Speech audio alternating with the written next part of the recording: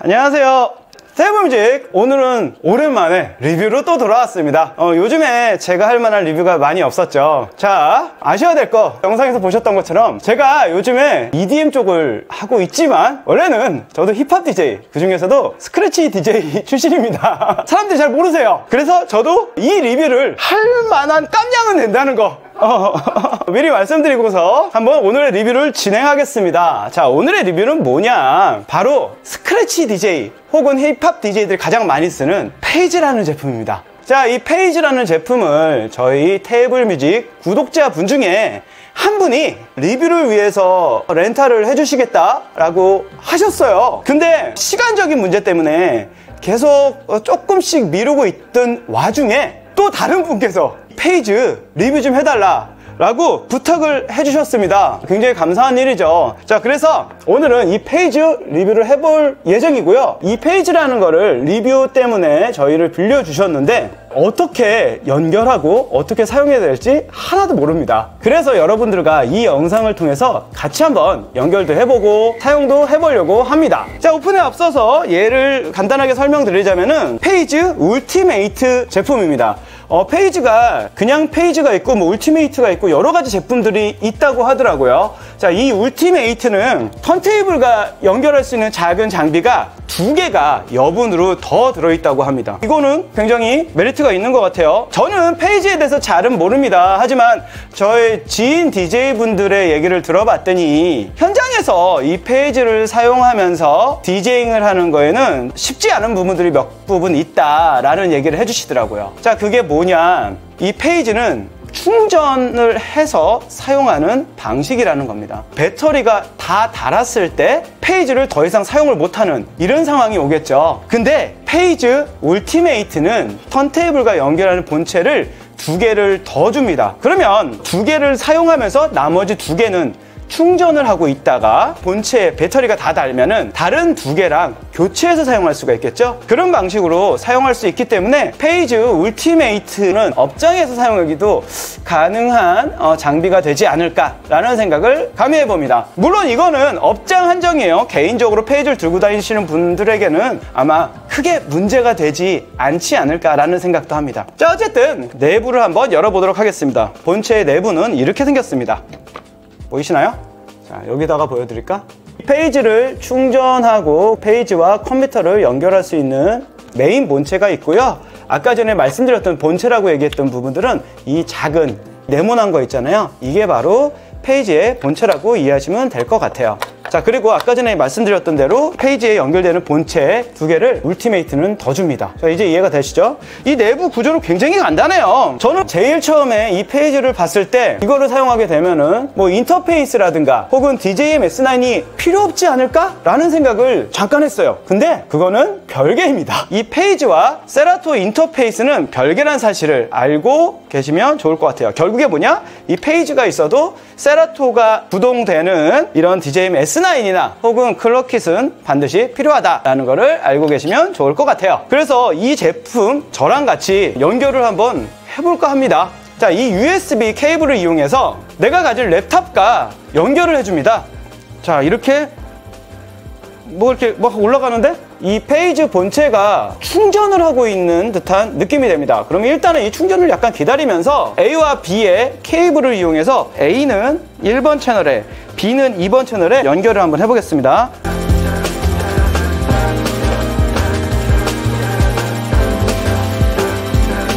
자 좋습니다 아까 몇 번의 시행착오 끝에 Phase를 드디어 연결을 했습니다 Phase에 있는 USB 케이블은 컴퓨터로 Phase에 있는 RCA 아, 출력 부분들은 이 믹서의 CD 라인 쪽으로 연결을 해주시면 되고요. Phase 본체에 USB 케이블을 laptop과 연결을 해주신다면 은 Serato에서 relative 모드와 모드 밑에 새로운 모드가 생겼어요. WIR 모드라고 이 두 가지 모드로 동작을 합니다. 이 중에서 일단은 relative 모드 REL 모드로 연결을 해놨습니다. WIR 그러니까 wireless 모드는 이 RCA 자체를 연결 안 해도 되긴 하더라고요. 실제로 현장에서는 WIR 모드도 많이 쓰일 것 같기는 한데 지금 여기는 현장은 아니니까 relative 모드로 구동을 해 놓았습니다. 제대로 동작하는지 한번 볼까요? 자, 바늘이 연결이 안 되는 상태에서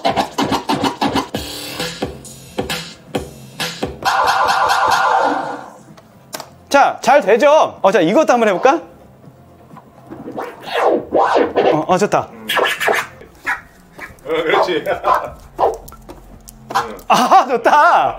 야, 이러다가 이거 쭉 날아가면은. 그래, 이제 우리가 사줘야지. 그치, 빌려주신 분한테 굉장히 실례인데.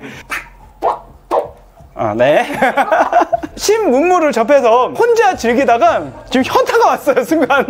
자, 어쨌든 이런 식으로 연결이 되어서 플레이를 할 수 있는 것 같습니다. 지금부터는 페이지에 제대로 된 리뷰를 한번 해보겠습니다. 그러려면 저도 좀 써봐야겠죠?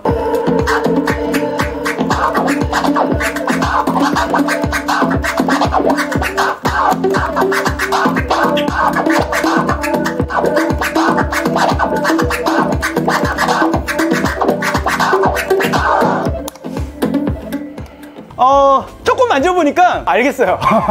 자, 일단은 페이지의 장점을 말씀드리겠습니다. 첫 번째, 바늘을 쓰지 않기 때문에 소모품 비용이 안 든다. 턴테이블 DJ들 같은 경우에는 이 바늘에 들이는 비용이 생각보다 크거든요. 확실히 페이지가 메리트가 있다고 할 수가 있겠네요. 그리고 바늘을 안 쓰기 때문에 판이 튈 걱정이 없네요. DJ들은 잘 아실 거예요. 일반적인 턴테이블 세팅으로 했을 때 바늘의 침합을 적당히 조절하는데 이 적당이라는 게 현장의 그런 악조건 속에서는 적당히가 그렇게 강한 침합은 아닙니다. 그래서 침합을 조금씩 조금씩 올리게 되는데 그만큼 바늘과 판이 금방 날아요. 침합을 낮추면 또 많이 튀고 이게 진짜 짜증나는 것도 짜증나는 건데 그 중간을 맞추기가 굉장히 어렵거든요. 페이지는 그런 걱정을 안 해도 되는 게 너무 좋은 것 같습니다. 자, 그리고 제가 연결을 해보니까 생각보다 연결 방식이 그렇게 어렵지는 않았어요. 그냥 연결만 했더니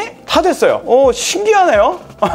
보통은 막 드라이버 깔고 뭐 하고 이러는데 얘는 그런 게 없이 연결할 수 있어서 너무 편하고 좋았습니다. 자, 하지만 뭐든지 장점이 있으면 단점이 존재하겠죠. 지금부터 그러면 단점을 얘기 드리겠습니다. 자, 첫 번째, 컨트롤러 기반의 턴테이블을 전환시켜 주는 거다 보니까 정말 어쩔 수 없이 latency가 존재를 합니다. latency가 느껴져요. 그리고 두 번째 단점, 현장에서는 얘가 생각보다 작잖아요. 분실의 가능성이 있지 않을까 라는 생각을 살짝은 해봅니다. 어, 근데 야, 잠깐만, 잠깐만. 이것도 재밌는 거 찾아냈어.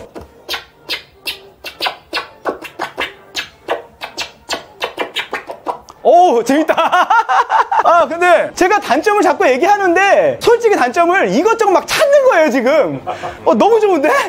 혹시 이거 우리 그 렌탈 해 주신 분한테 우리한테 팔면 안 되겠냐고.